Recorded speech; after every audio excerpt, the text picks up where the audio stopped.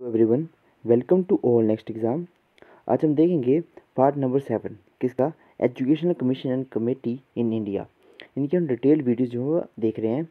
और ये आने वाले जो एचपीयू का बी का एंट्रेंस एग्ज़ाम है, उसमें बहुत ज़्यादा इंपॉर्टेंट रोल प्ले करने वाले हैं। आज हम एक और महत्वपूर्ण टॉपिक रूसा सिस्टम आप में से बहुत से ऐसे होंगे जो इस सिस्टम में जो जो है, वो पढ़े होंगे। जिन्होंने इसमें जो ग्रेजुएशन वगैरह करी होगी रूसा सिस्टम के अंडर। ठीक है? तो चलिए शुरू करते हैं। वीडियो को लास्ट तक ज़रूर देखना और ज़्यादा से ज़्यादा वीडियो को शेयर करना। ठीक है? और चैनल को सब्सक्राइब ज़रूर करें। तो आज का हमारा पहला है, राष्ट्रीय माध्यमिक शिक्षा अभियान आर एम एस ए ये कब आया था? 2009 में आया था। इसके बाद आया था हमारा रूसर सिस्टम। लेकिन इसमें क्या था? ये भी आर एम एस ए ये भी क्या था? सेंट्रली स्पॉन्सर स्कीम थी। इसको भी सेंट्रल गवर्नमेंट जो थी, इसको स्पॉन्सर कर दी थी।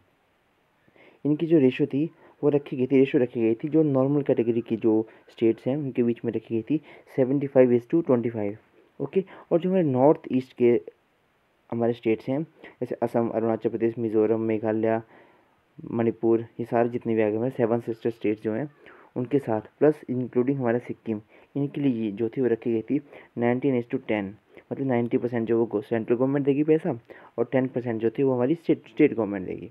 और इसका मकसद क्या था? इन्होंने एक दूरदृष्टि देखा था कि कि जो एनरोलमेंट है, उसको सेवेंटी फाइव परसेंट करना।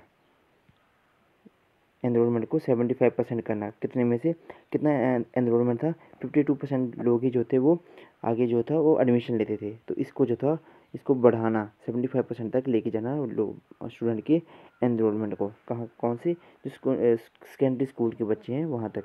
और उनके लिए जो था वो उनके एरिया के नज़दीक बना, क्या बनाना, स्कूल जो है वो प्रोवाइड करवाना, ताकि वो जहाँ, उनको जो है ज़्यादा दूर तक नहीं जाना पड़े। कई बार क्या होता था कि ज़्यादा स्कूल ज़्यादा दूर होने की वजह से जो था, वो बच्चे जो है स्कूल नहीं जा पाते थे। उनका भी पढ़ाई बीच में छोड़नी पड़ जाती पड़ जाती थी।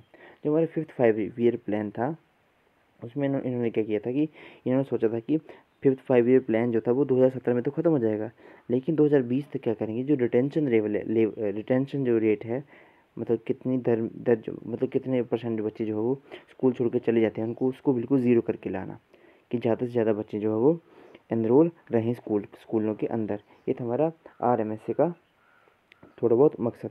अब आया हमारा सबसे इम्पोर्टेंट टॉपिक आज का रूसा सिस्टम राष्ट्रीय उच्चतर शिक्षा अभियान। ये किसके लिए था मेनली ये था मेनली जो, जैसे ग्रेजुएशन वगैरह के लिए, ठीक है? उसको उसके अंडर जो था वो रूसा सिस्टम लेके आए थे और इसमें जो था वो क्रेडिट बेस्ड सिस्टम था। मतलब कुछ क्रेडिट दिए जाते थे। जैसे कोई किस सब्जेक्ट के चार क्रेडिट होते हैं, उस, उसी अकॉर्डिंग जो था, उनको जो वो ऑनर की डिग्री और उनको नॉर्मल जो ग्रेजुएशन की डिग्री डिग्री जो है, इनके अकॉर्डिंग जो थी, वो दी जाती थी। अब इसमें क्या था? जो रूसा, क्या था? RUSA RUSA is a centrally sponsored scheme aim to providing strategic fund to eligible state for higher education institution मतलब कि क्या था? कि जो हायर इंस्टीट्यूशन है, जैसे हमारे जितने भी हमारे जो विश्वविद्यालय वगैरह हैं, ठीक है? या महाविद्यालय वगैरह हैं, उनको जो है वो फंड फंड प्रोवाइड प्रोवाइड करवाना। और ये टोटली जो थी वो सेंट्रल गवर्नमेंट स्कीम थी। इसमें भी क्या था कि जनरल जो जनरल कैटेगरी के स्टेट थे, उनके लिए जो थी वो रेशो कितनी रखी गई थी? सिक्सटी इज़ टू फोर्टी रखी गई थी। यानी कि सिक्सटी परसेंट जो तो हमारी सेंट्रल गवर्नमेंट देगी और फोर्टी परसेंट जो तो हमारी क्या देगी? स्टेट गवर्नमेंट देगी। और एक थे हमारे स्पेशल कैटेगरी के स्टेट्स। फॉर एग्जांपल, जो ये हमारे नॉर्थ ईस्ट वाले स्टेट हैं। उनके लिए जो थी वो रेशो थी वो नाइनटीन इज़ टू टेन थी। ओके और जितने हमारी यूनियन टेरिटरीज हैं, ठीक है? कितने हमारी यूनियन यूनियन टेरिटरीज ये आप हमें कमेंट करके बता सकते हैं, ठीक है?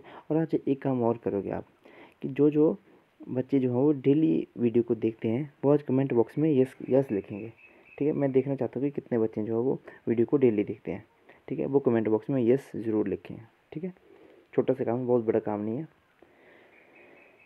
नेक्स्ट हमारा RUSA aim to provide equal development to all higher institution is target to achievement its race growth enrolment to thirty two percent अब क्या था हमारा कि मैक्सिमम बच्चे जो थे वो प्लस टू तक तो अपनी एजुकेशन कर रहे थे कंप्लीट लेकिन उसके बाद जो था वो जो हायर क्लासेस में उनमें एनरोल नहीं हो, हो पा रहे थे। आज भी हमारी जो थी वो प्लस टू के बाद बहुत से बच्चे जो है वो छोड़ देते हैं पढ़ाई करना छोड़ देते हैं। तो उन्होंने ये बताया कि थर्टी टू परसेंट थी हमारी। जो हमारी मतलब थर्टी टू परसेंट तक लेके जाना है कि थर्टी टू परसेंट सौ में से बत्तीस बच्चे तो ऐसे हों जो कम से कम अगली क्लासों में जो एनरोल हो जाएँ। हमारे फिफ्थ जब हमारे, इन्होंने सोचा था कि जब हमारा ट्वेल्थ फाइव ईयर प्लान दो हज़ार सत्रह में ख़त्म होगा तो हमने जो एनरोलमेंट रेशियो है वो, उस रेट जो है उसको थर्टी टू परसेंट तक लेके जाना है। बहुत कम था ये पहले तो बहुत कम। ठीक है?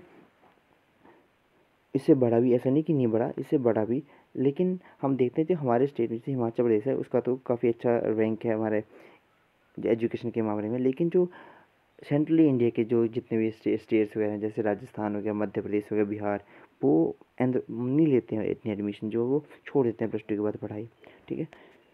तो और ये सेंट्रल स्पॉन्सर स्पॉन्सर स्कीम थी तो इनको तो पूरे इंडिया को एक साथ लेके चलना था, ठीक है? तभी तो इन्होंने क्या करा एक एम रखा, क्योंकि हर जो भी कुछ भी जो स्कीम होती है, उसका एक एक विज़न होता है, एक एम होता है कि हम हम इसको क्यों कर रहे हैं। तो इनका विज़न था कि कम से कम थर्टी टू परसेंट तक बच्चे जो है, वो एनरोल हो पाएँ, जो हायर एजुकेशन है उसमें। फिर क्या था? इसके मेजर ऑब्जेक्टिव्स क्या थे? Improve the overall quality of existing state institution by ensuring all the institution confirm to prescribe norms and standard and adopt tradition अब इसमें क्या था? इन्होंने बोला कि एक तो जो शिक्षा जो है बिल्कुल अच्छी दी जाए।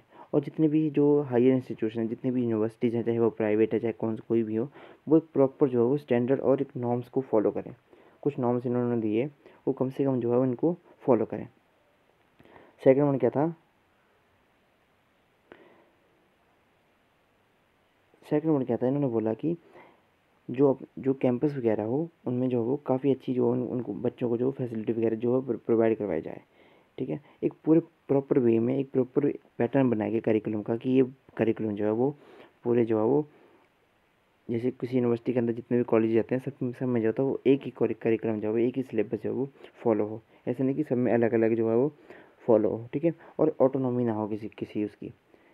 ऐसा ना हो कि मतलब जैसे फॉर एग्ज़ाम्पल एक यूनिवर्सिटी की जो, एक यूनिवर्सिटी है, सभी सभी जो है उसी की तरफ़ जो भाग रहे हैं।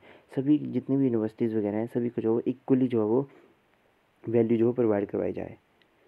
कि सभी, कोई भी किसी भी यूनिवर्सिटी को जो वो छोटा ना समझ जाए कि ये वाली यूनिवर्सिटी जो है इसमें नहीं पढ़ना, ये दूसरी वाली यूनिवर्सिटी में नहीं पढ़ना। तो इसमें इसमें क्या था कि सभी को जितने भी कॉलेजेस हैं, उनको जो वो से एक ही नज़र से देखा जाए, देखें बच्चे, ठीक है? कुछ ऐसा था इनमें ठीक है? अब थर्ड पॉइंट क्या था? Ensure academic and examination reforms in higher अब क्या था कि जो एजुकेशन जो एग्जामिनेशन था एकेडमिक्स एकेडमिक तो पढ़ाई से रिलेटेड और और एग्जामिनेशन जो था, उनमें जो हायर इंस्टीट्यूशन में क्या किया जाए, उनको बिल्कुल प्रॉपर वे में और बिल्कुल ठीक ढंग से बिल्कुल इनको किया जाए okay ensure adequate availability of quality faculty अब इसमें क्या था कि जो फैकल्टी है, जो टीचर हैं, एक पढ़े लिखे हों और इस मतलब ऐसा ना हो कि कहीं पे वैकेंसी जो खाली है टीचरों की और वहाँ पे जो है वो मतलब उस उस सब्जेक्ट की जो है वहाँ, उस, किसी सब्जेक्ट का किसी कॉलेज में टीचर ना हो। तो उसमें उन्होंने ये भी देखा कि अवेलेबिलिटी जो है वो क्वाल टीचर की हर कॉलेज में हो। और ऐसा भी नहीं कि कोई भी पकड़ के कोई भी टीचर रख दिया। एक प्रॉपर क्वालिटी फैकल्टी होनी चाहिए। और वहाँ पे जो बिल्डिंग्स वगैरह, जो इंस्टीट्यूशन की, वो काफ़ी बढ़िया होनी चाहिए। अब क्या था कि जो एटमॉस्फेयर है हायर इंस्टीट्यूशन का, वो इस तरह से बनाया जाए कि ज़्यादा से ज़्यादा बच्चे जो है वो रिसर्च और इनोवेशन में एनरोल हो पाएँ। ओके सिक्स पॉइंट क्या था इनका? Correct regional imbalance in access of higher education अब क्या था कि ऐसा ना कि किसी क्षेत्र में जो था कि बहुत एक हब भी बन जाए, पढ़ाई का हब भी बन जाए, बहुत सी यूनिवर्सिटी जो है उसी एरिया में हो अर्बन और रूरल एरिया में जो था वो डिफ्रेंशिएशन हो जाए। उन्होंने बोला कि अर्बन एरिया के साथ साथ जो वो रूरल एरिया में भी जो है इक्वली जो है वो बढ़ावा दिए जाए इंस्टीट्यूशन कि। अर्बन एरिया में जितने मतलब जो जो ग्रामीण क्षेत्र के जो एरिया हैं, उनमें भी जो है एजुकेशन की जो अवेलेबिलिटी है वो प्रोवाइड करवाई जाए, कि वहाँ पे भी जो है कॉलेज वगैरह स्कूल वगैरह को जो है वहाँ पे खोले जाएँ। ये था इनका एक एक विज़न था इनका एक, ठीक है? Improve equity in higher education by providing अब इसमें क्या था कि जितने भी हमारे S C S T economical weaker classes के स्टूडेंट थे विमेन थी माइनॉरिटी के जितने भी थे या डिफरेंटली एबल्ड पर्सन थे, उन सभी को जो वो एक ही दृष्टि से देखा जाए। उन सभी को जो हायर एजुकेशन में एनरोलमेंट का मतलब उनको कहीं ना कहीं कुछ ना कुछ रिलैक्सेशन दी जाए, चाहे उनकी वो फ़ीस फ़ीस स्ट्रक्चर में रिलैक्सेशन हो, चाहे वो उनकी जैसे होती है ना रिजर्वेशन ऑफ़ सीट्स कि एस के लिए इतनी एसटी के लिए इतनी, अगर कोई मतलब डिफरेंटली एबल्ड पर्सन है उनके लिए अलग से अलग अलग से वैकेंसीज होती हैं। तो वो सारी जो वो इनमें जो है प्रोवाइड करवाई जाए हमारे हायर एजुकेशन इंस्टीट्यूशन में, ठीक है? तो ये थे आज के हमारे दो टॉपिक पढ़े आज हमने, ठीक है? आई होप आपको वीडियो पसंद आई होगी तो वीडियो को लाइक शेयर एंड सब्सक्राइब ज़रूर करना। और आज कमेंट बॉक्स में सभी यस ज़रूर लिखेंगे जो डेली वीडियोज़ वो देखते हैं। Thank you and have nice day